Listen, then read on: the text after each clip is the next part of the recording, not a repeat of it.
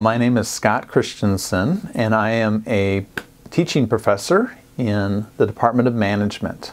And I have the privilege in the fall of 2018 to be teaching Management 8100 Exploring the Digital Globe. Now, as a professor, we're supposed to treat all of our courses like children. We're supposed to love them equally.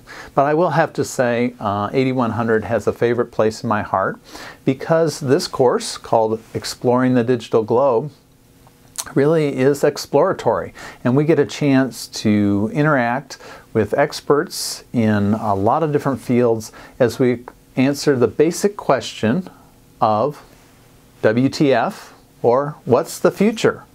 So what is the future going to be? Well, we look at some models to help understand what the future might hold for us.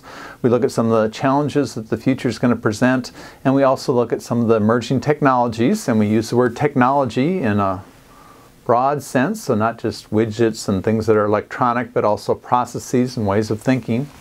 Uh, how are these emerging technologies going to affect our lives, our society, and shape the future? So we look at things such as blockchain, Bitcoin, virtual currencies. We look at things such as cybercrime and uh, uh, even nation state cybercrime. We look at things such as healthcare, um, both in training of medical uh, and nursing students as well as the future of he healthcare as far as epigenetics and other new things that are uh, just now really kind of being understood and we're seeing therapies put into use. We also look at VR and um, AR, we look at e-commerce, mobile payments, open source hardware, all sorts of things that are shaping our world today. So I hope you'll consider joining me in the fall.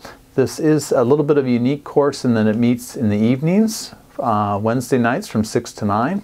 It is also the first course that is required in obtaining the Center for the Digital Globe graduate certificate. There's one other course as well as courses that you may take in your home department.